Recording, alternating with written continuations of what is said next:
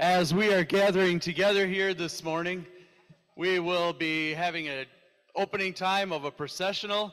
So the handbell choir will be doing a choral reading of scripture to get us started out today. And then they will lead us, we'll make a procession out through the side doors, down the hallway, into the sanctuary, around the sanctuary, waving palms, shouting, Hosanna, Hosanna in the highest. Blessed is the one who comes in the name of the Lord. Save us, Jesus. Whatever shouts of Palm Sunday acclamation that come to your heart, that the Spirit leads you, shout it, yell it, and then we will be singing together our opening hymn in the sanctuary as we gather together for worship. Invite the bell choir to lead us with our opening scripture from Mark 11.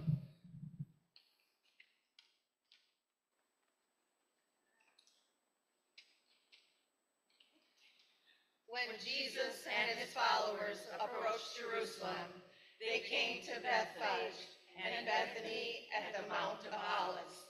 Jesus gave two disciples a task, saying to them, Go into the village over there. As soon as you enter it, you will find tied up there a colt that no one has ridden. Untie it and bring it here. If anyone says to you, Why are you doing this? say, Its master needs it, and he will send it back right away. They went and found a colt tied to a gate outside on the street, and they untied it. Some people standing around said to them, What are you doing untying the colt? They told them just what Jesus said, and they left them alone. They brought the colt to Jesus and threw their clothes upon it, and he sat on it. Many people spread out their clothes on the road, while others spread branches cut from the fields. Those in front of him and those following were shouting, Hosanna! Blessings on the one who comes in the name of the Lord. Blessings on the coming kingdom of our ancestor David. Hosanna in the highest. Jesus entered Jerusalem and went into the temple.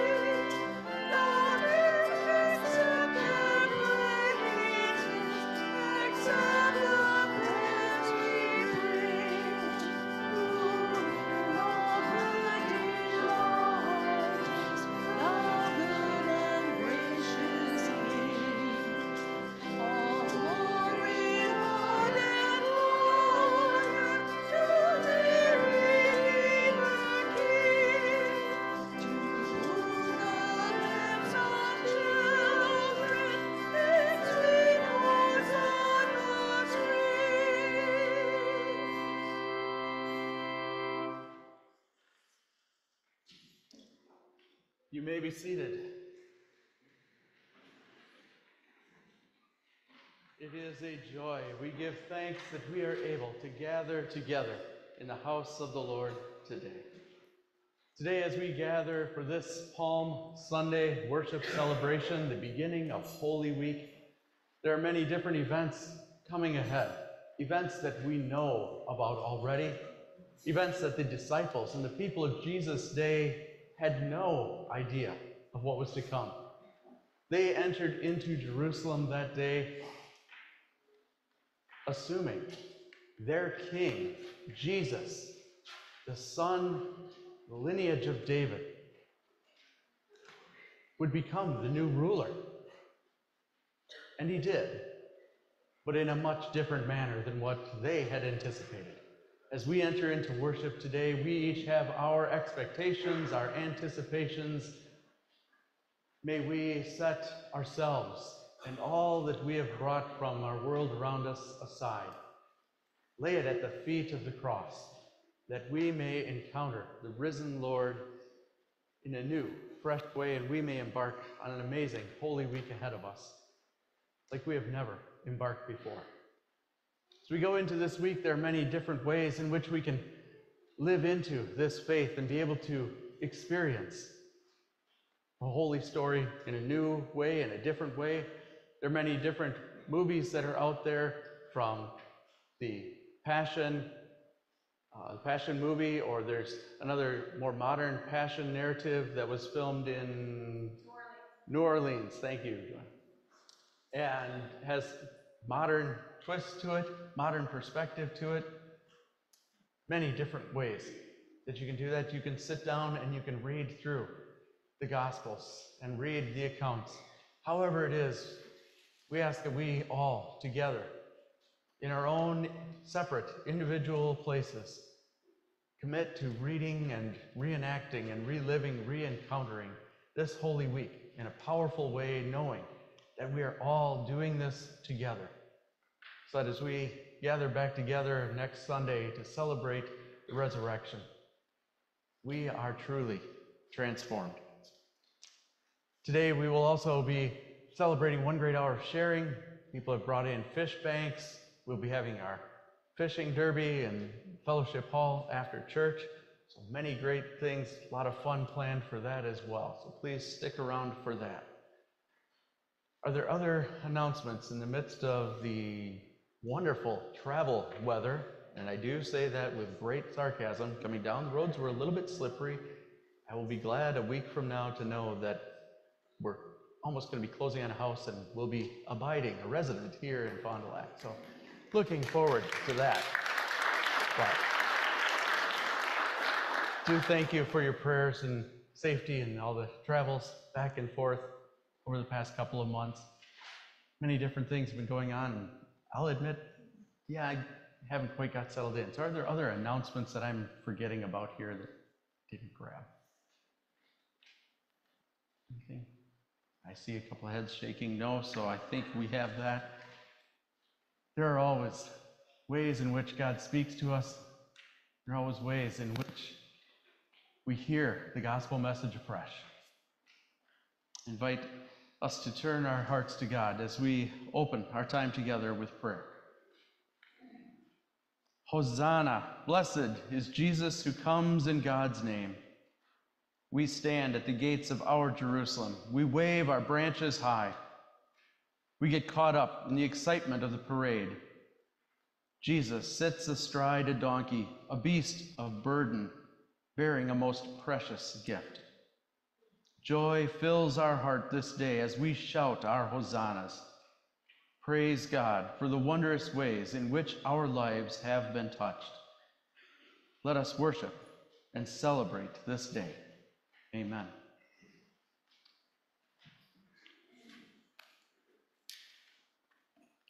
Please stand to join me in the call to worship. The stone the builders rejected has become the capstone. Hosanna! Hosanna in the highest. The Lord has done this, and it is marvelous in our eyes. Hosanna! This is the day the Lord has made. Let us rejoice and be glad in it. Hosanna. O Lord, save us. Hosanna. Blessed is he who comes in the name of the Lord. Hosanna. The Lord is God, and he has made his light shine upon us. Hosanna. You are my God, and I will give you thanks. Hosanna. Give thanks to the Lord, for he is good. Hosanna. His love endures forever. Hosanna.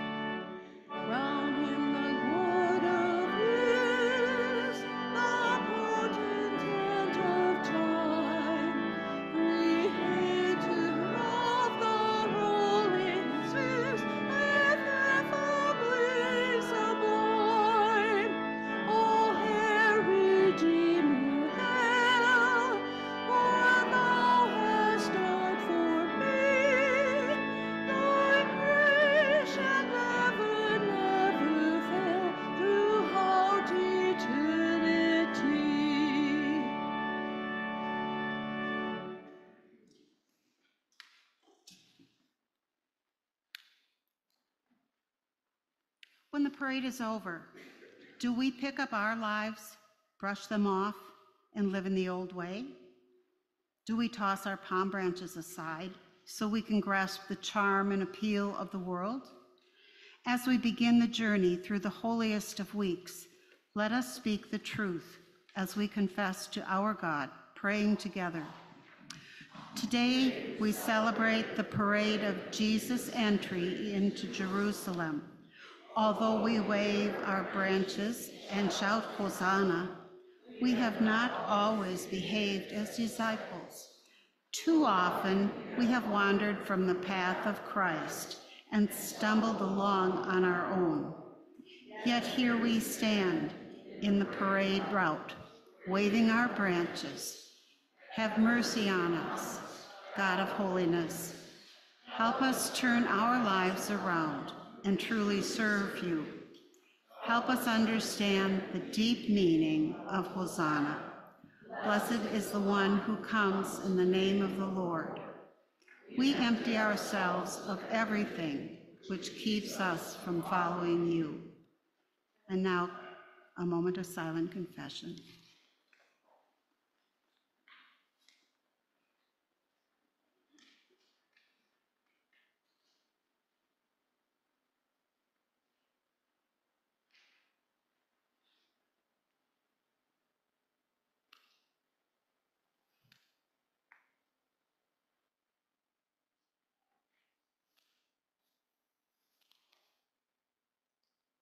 Save us, Lord Jesus. We welcome you into our hearts. Transform us into the people you want us to be. Amen. Hear the good news. Jesus, though he was in the form of God, did not regard equality with God as something to be exploited, but he emptied himself, taking the form of a slave and becoming obedient to the point of death, even death on a cross. Through his obedience, we are freed from whatever sin, sin enslaves us. Thanks be to God. The peace of Jesus Christ be with you. And also with you. I invite you to share the peace of Christ with others.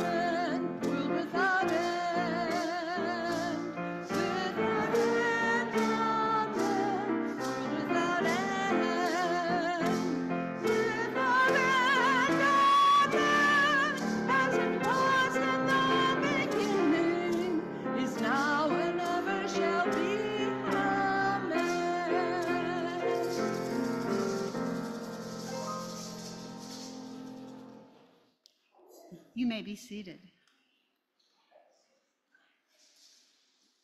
The psalm reading is from Psalm 118, verses 1 through 2 and 19 through 29. We're using the Common English Bible version, but you can find it in your pew on page 565. Give thanks to the Lord because he is good, because his faithful love lasts forever. Let Israel say it. God's faithful love lasts forever. Open the gates of righteousness for me so I can come in and give thanks to the Lord. This is the Lord's gate. Those who are righteous enter through it. I thank you because you answered me, because you were my saving help. The stone rejected by the builders is now the main foundation stone. This has happened because of the Lord. It is astounding in our sight. This is the day the Lord acted. We will rejoice and celebrate in it. Lord, please save us. Lord, please let us succeed. The one who enters in the Lord's name is blessed. We bless all of you from the Lord's house. The Lord is God. He has shined a light on us. So lead the festival offerings with ropes all the way to the horns of the altar. You are my God. I will give thanks to you. You are my God. I will lift you up high. Give thanks to the Lord because he is good, because his faithful love lasts forever.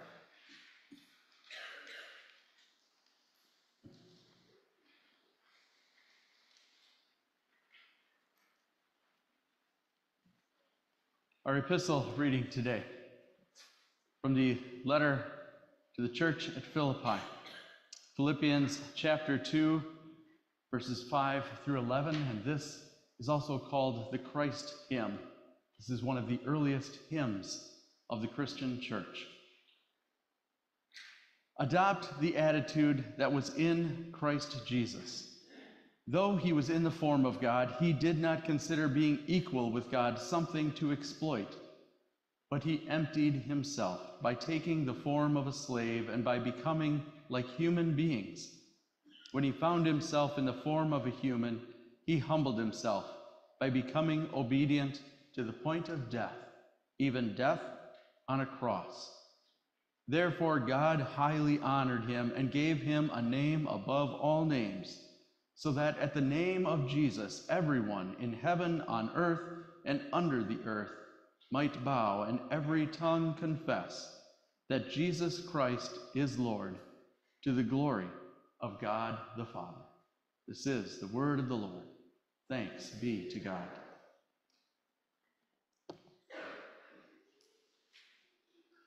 I'd like to invite the children to come forward.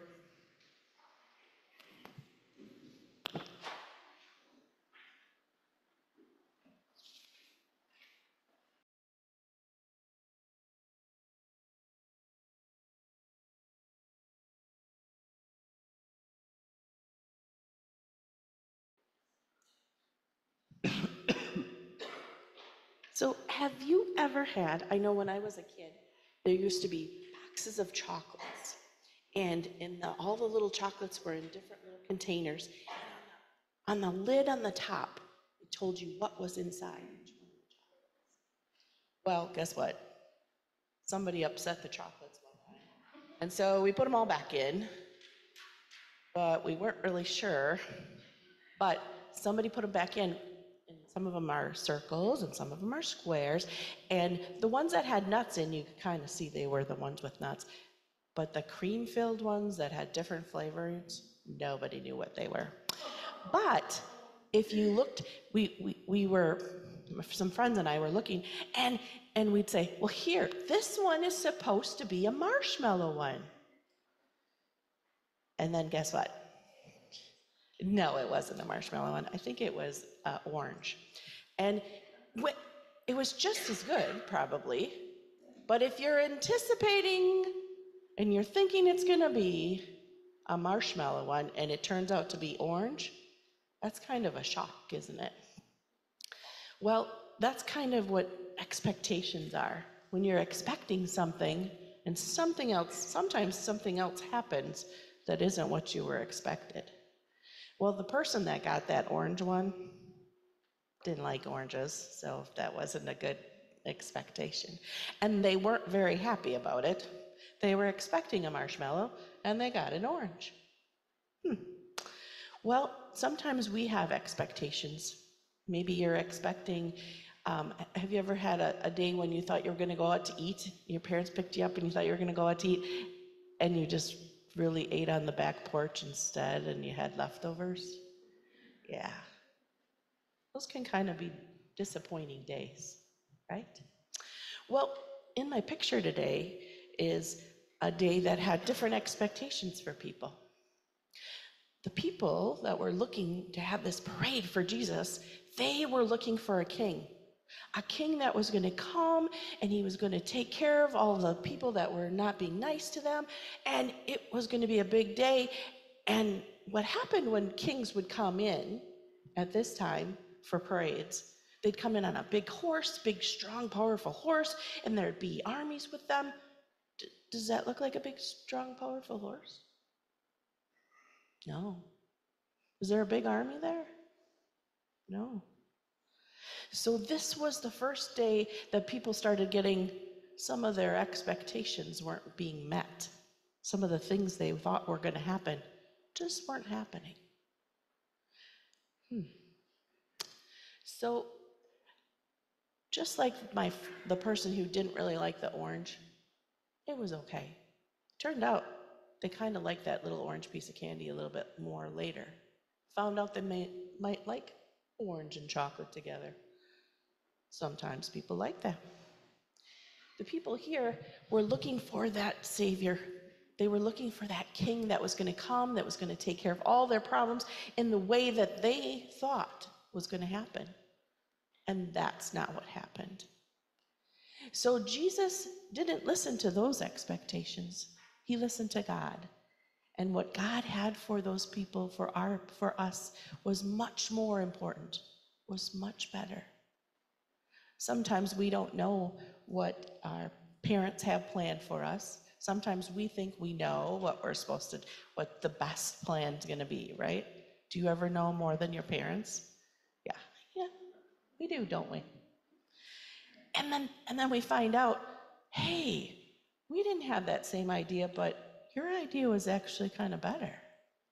Our parents kind of know stuff, right?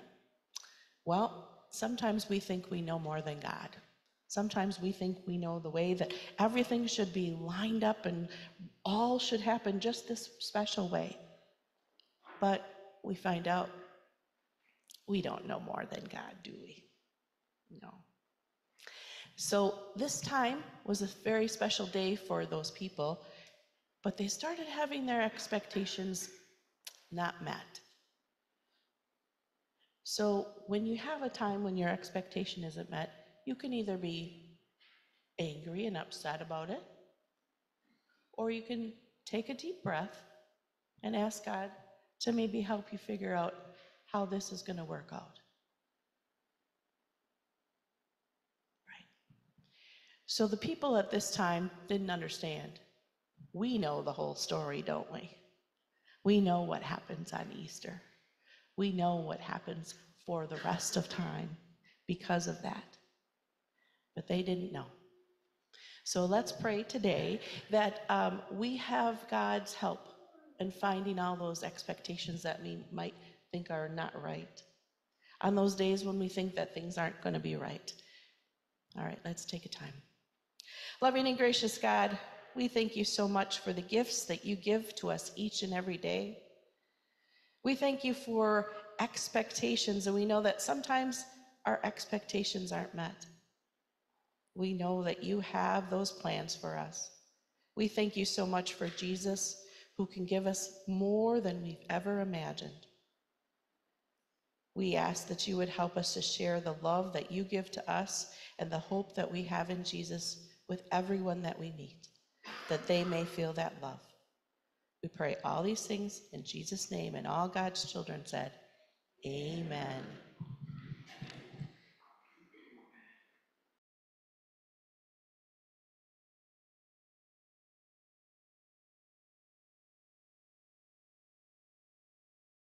I think the message from that children's message could become an entire sermon series about all of the expectations that we have for life, for the church, for so many things. And how do we set those aside and be open to the new things that the Spirit is bubbling up in our midst?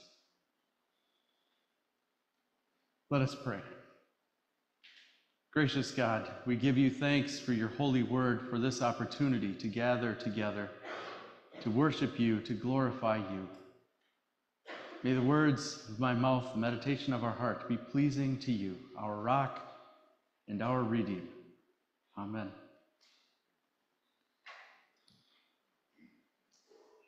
I don't know about you, but for me, there were so many smiles on faces walking in, the joyful feelings radiating from shouts of Hosanna, Hosanna in the highest, amidst that familiar waving of the palm branches, singing all glory, laud, and honor.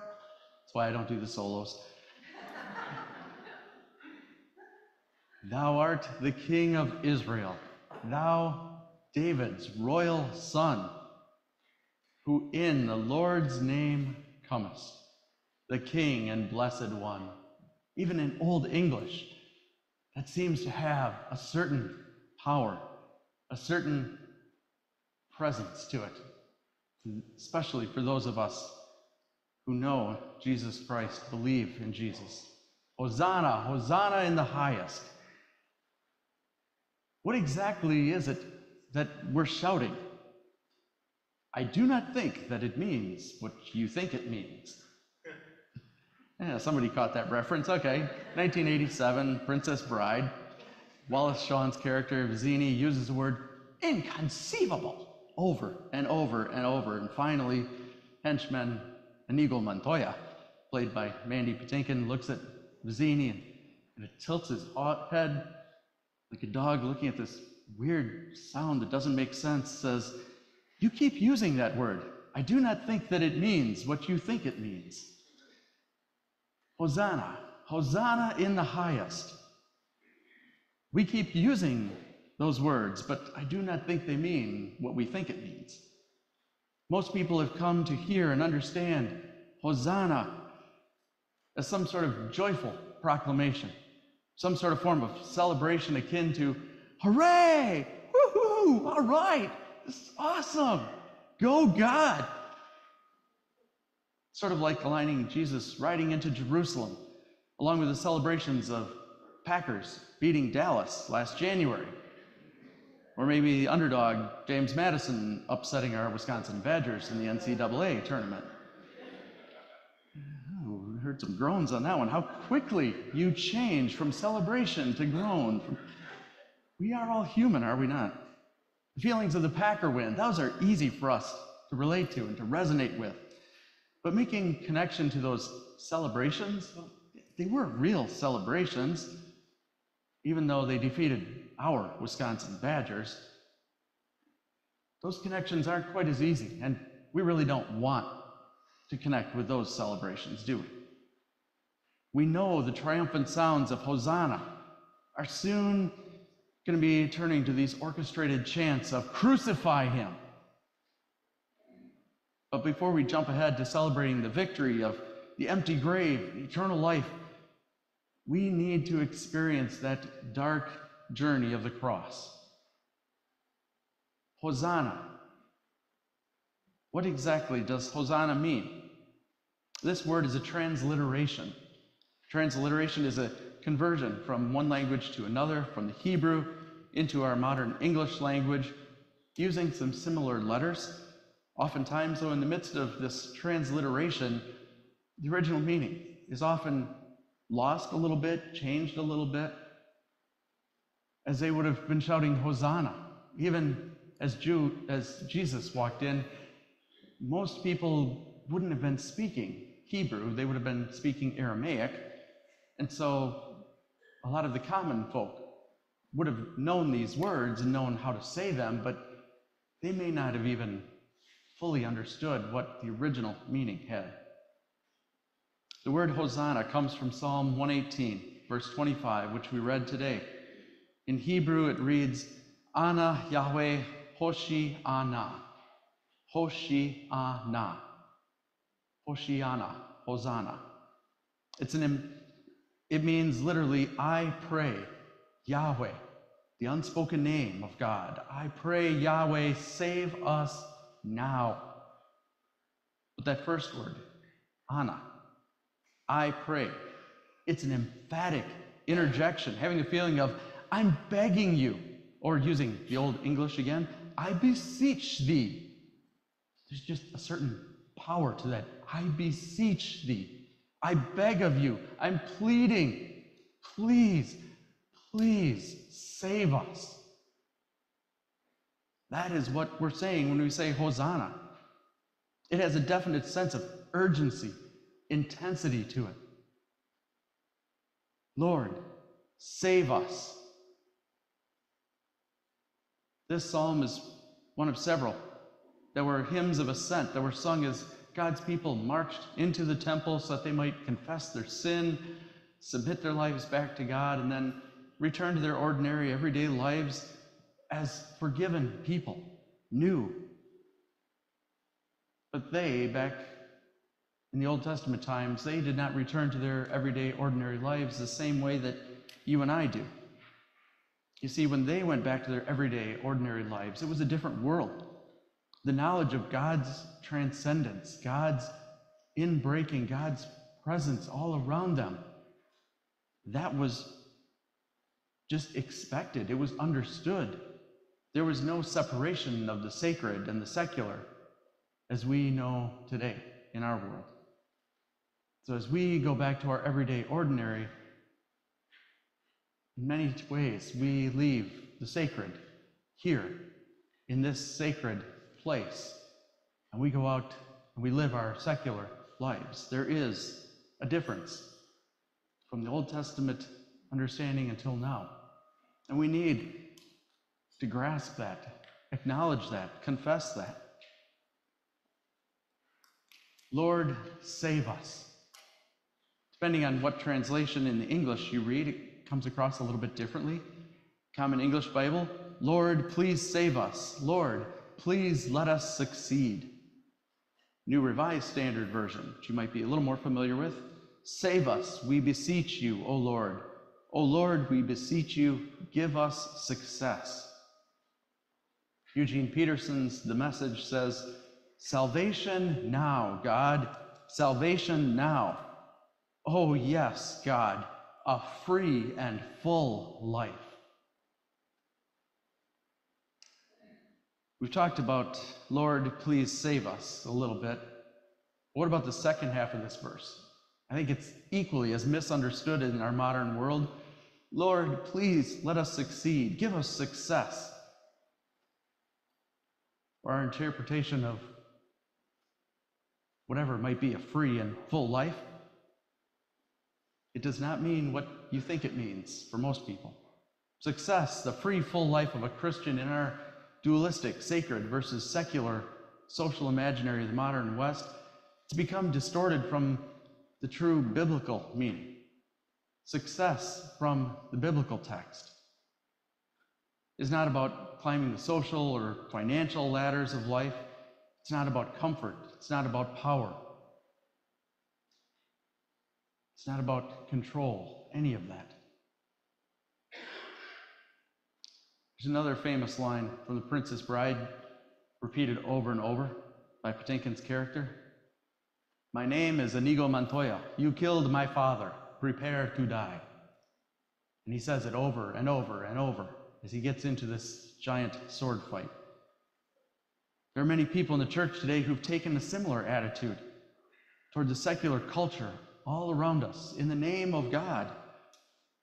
And it's honestly, though, an attitude of revenge, an unbiblical attitude, even though we frame it as if it is religious.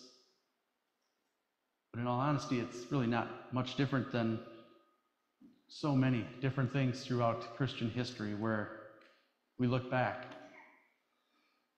and say, How did they ever think that? Our attack against the secular is, in a sense, an attack of revenge. One of the common narratives that I hear describes the pain, the fear of the statistical decline in the mainline church. Yeah, there is pain, there's fear. I hear those in the decline of membership and attendance. But it's as if we're pre- proclaiming over and over we are God's people. You have killed our father. Prepare to die.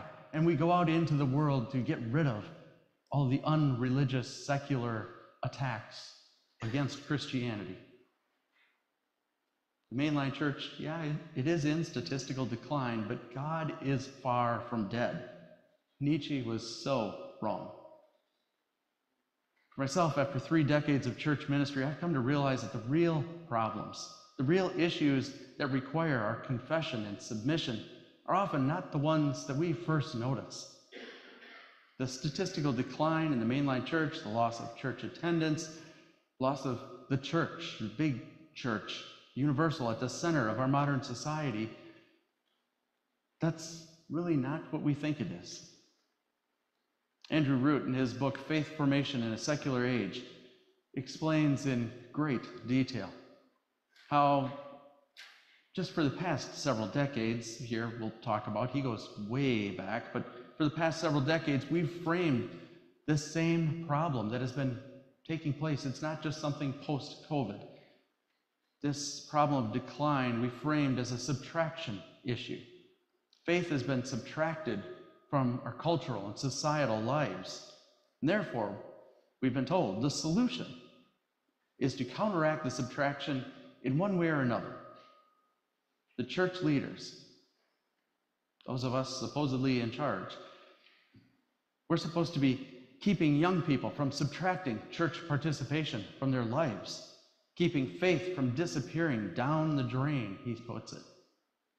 These approaches do seem appealing, and I'll admit, For the first half of my ministry, doing youth ministry, there are many of these claims that I bought into and said, yes, I need to be a paid youth director at a church. And that's going to be the solution. And if we just get some youth into the church, the church will be alive and vibrant. And no, they seem appealing because they promise action. Quick action is what we prefer, is it not? The reality of this oversimplified contention about plugging the drain, as he puts it, that somehow by plugging the drain, we're going to contain the faith of our youth. He says the drain that we're attempting to plug is in a bathtub at the bottom of the ocean. It really doesn't matter if that drain is plugged or not. There's something else so much bigger that we don't even notice it. We're right in the midst of it. Our issues are much deeper, much different. One of the key issues is that we as a society, we've added layer upon layer of what it means to be authentic human beings. We've added new narratives, new moral codes, new identities beyond God to direct our lives. Most people today are not only insulated from sensing God's activity in their life, many feel no real need for God. Our world has been framed as a natural, material place, void of the mystery of transcendence, the mystery of God's inbreaking participation in our everyday, ordinary lives. That is what we long for. Do we need Jesus to save us? Most definitely, yes. But the deeper question is to save us from what? For what? The people of Jesus' day needed to be saved in basically the same way. And they, like us, were also not fully aware of what they needed to be saved from. They had their expectations. But God, God had something even better planned out. The people of Jesus' day were under the oppression of Roman military occupation. Taxes were high, inflation was on the rise, public unrest was at the boiling point. It was like a pressure cooker about to explode in disastrous revolts, which resulted in destruction of the temple and life itself as they knew it. Not much different from what we hear of our world today. They were eager to start a fight, provoking Jesus to take that first swing. Hosanna, blessed is the one who comes in the name of David. They wanted Jesus to overthrow the Roman Empire. They wanted peace, shalom. But the way in which they expected it to come about, it's not the way of God. Jesus did come to overcome the rulers of this world, to claim the throne of David for all time to come. But the ways of God are so much different than the ways of this world. And that is what we hear in the Christ hymn from Philippians chapter 2. Instead of each person watching out for their own good, don't we hear that in our world? Watch out for what is better for others. Adopt the attitude that was in Christ Jesus. Though he was in the form of God, Jesus was God. Jesus could have done anything. He did not consider being equal with God something to exploit. Instead, he emptied himself. He set it all aside. He took on the form of a slave, a servant. He became like us. He took on human flesh, dwelt among us. And when he found himself in the form of a human, he humbled himself by becoming obedient, even to the point of death on a cross. And therefore, because of his obedience, God highly honored him and gave him a name above all names. So that at the name of Jesus, everyone in heaven, on earth, and under the earth might bow and every tongue confess that Jesus Christ is Lord to the glory of God the Father. Hosanna, Lord, save us. May that be our prayer as we enter into this holy week. But may our prayer also be framed so that we are saying, Do not save us by the manner in which we seek revenge, or that we seek to bring the things of this world back to the ways we remember when life was so much better and the church was so much better. Was it? Save us by allowing us to embrace the mystery of your Spirit breaking into our lives, by allowing us to fully encounter the risen Lord, by allowing us to encounter God's holy transcendence in the everyday, the ordinary, as we journey with Jesus and with one another this week, this holy week, walking step by step, by painful step, through the pain, the persecution, the torture, the agony, emptying ourselves of all power that comes from this world. Learning more and more what it means to truly confess our self centeredness, confess it to God, and to submit our worldly securities over to God, to truly trust in God for our salvation. Not just our eternal, other life, dualistic salvation, but our salvation here and now in the kingdom of God here on earth. May we long to know what that is like and to be able to share that together with one another and with all of God's people. Hosanna, Lord, save us. In the name of the Father, the Son, and the Holy Spirit. Amen. Amen.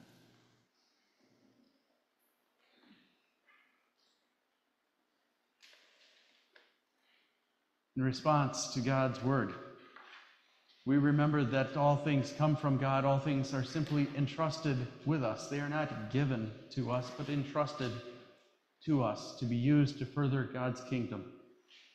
We offer ourselves back to God. We offer a portion of that which God has entrusted to us as God's tithes. And above that, we offer special offerings, special offerings for ministries of the church and of the church community. Feed my starving children, one great hour of sharing, pave the way, all offerings above and beyond our tithe. Above all, may we offer our very selves as the ushers come forward to gather God's tithes and our offerings.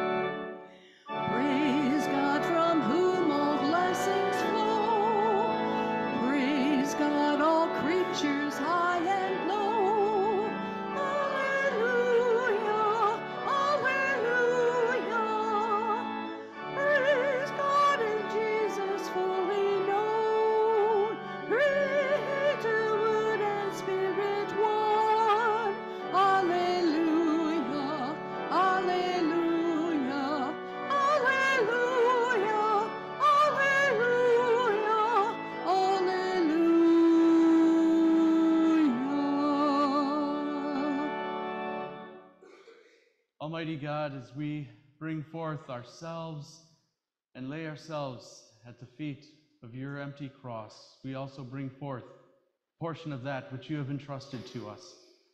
Take these tithes, these offerings, take us, multiply us, use us to further your kingdom here in this earth, and allow us to have the eyes of our hearts opened beyond our wildest expectations, that we might be able to see all that you have ahead of us. Amen. You may be seated as we turn to God. A time of prayer. Almighty, gracious God, as we gather together this morning, shouting, Hosanna, Lord, save us.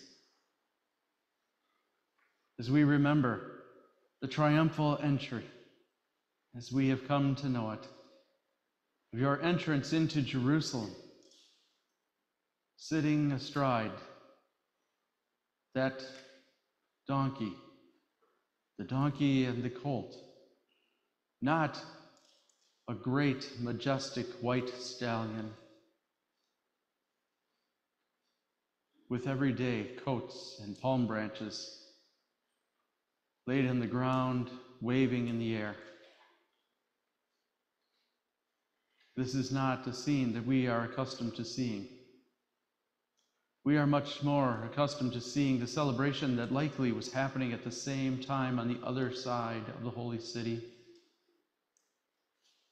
The Roman emperor entering in with all of the glory all of the festivity, the best of the best that this world has to offer. A show of force, a show of power. Lord, today, there are so many ways in which the show of power of worldly force is causing so much harm, evil, atrocity. We remember those who have lost their lives to the recent bombings, the terrorist attacks, to the wars, to the oppressive regimes around the world, to those who have been polarized and ostracized from friends and family, to those who sit alone for a multitude of reasons from health, healing, illness, disease.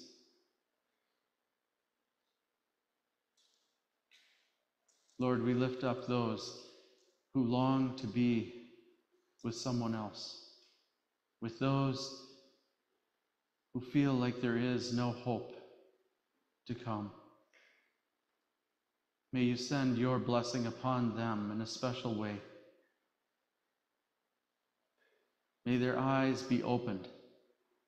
May they grasp firmly to hold on to the end of that hope rope of their life. May we do the same wherever we are at as we have been feeling like we are sliding and sliding. Remind us that we are not the ones in control. Lord, allow us to let go of all that that encumbers us, all that that gives us a sense, a false sense of control, of power, of peace. May we grasp you as we enter into this holy week, as we prepare to share that holiest of holy meals that you shared with your disciples, that you offer to us. May we encounter that meal on Thursday night with a true sense of mystery, fully expecting to encounter you. May we encounter you that night because we have been encountering you in many unexpected ways in the days leading up to that. Open our eyes, Lord, that we might see the ways in which you are calling us to be a guest, to be welcomed into the home and the life of those who have been marginalized. Lord, allow us to gather back together to celebrate the resurrection with new eyes as transformed people, with a commitment to gather together, to worship you and to seek you, with a commitment to confess all that is wrong, to confess all that we have done, confess all that we have not done, but we should have been doing and to surrender our lives to you.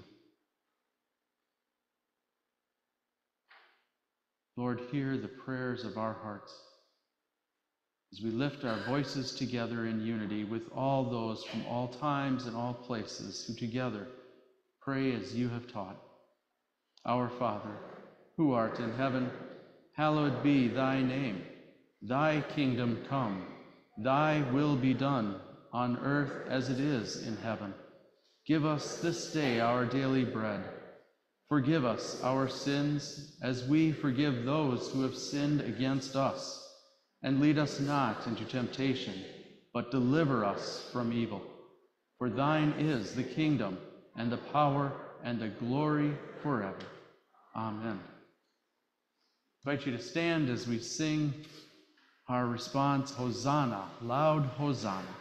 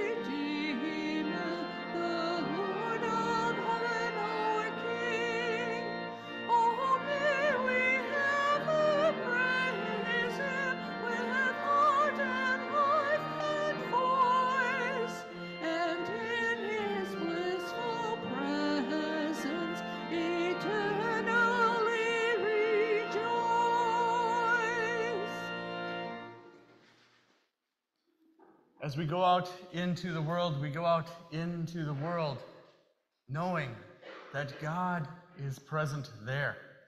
May we go out into the world shouting, Hosanna, Lord, save us. May the attitudes of our hearts be open to the unexpected for which God has for us. May we gather back together to continue to worship and glorify God, Father, Son, and Holy Spirit. Go in the name of God, worshiping God. Hosanna, Lord, save us.